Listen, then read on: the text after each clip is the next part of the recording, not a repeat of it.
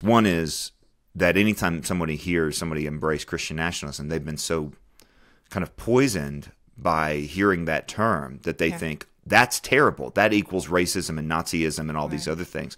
And that's just because they've listened to the caricature version and they haven't actually heard the real one.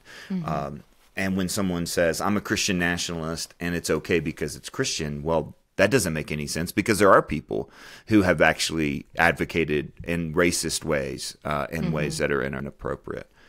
Um, so th- it's just the, the naming and what the you know what we what we kind of claim by it is, is is really problematic. And the other reason I think it's an important distinguish uh, the important thing to distinguish between the soft and the hard, or at least it's helpful, is because there's nothing that Rusty uh, advocated for in our forum, and and uh, Hunter acknowledged this by the way.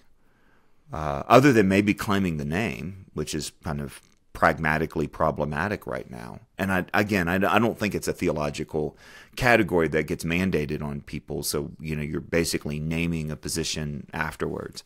But uh, there's nothing he advocated for that would have been controversial yesterday. You, you, you know what I mean? And so that's that's what's so bothersome whenever somebody gets up and goes, you know, in this kind of breathless alarm, particularly people on the evangelical left, uh, that it's absolutely scandalous that someone would dare kind of say you should be involved politically.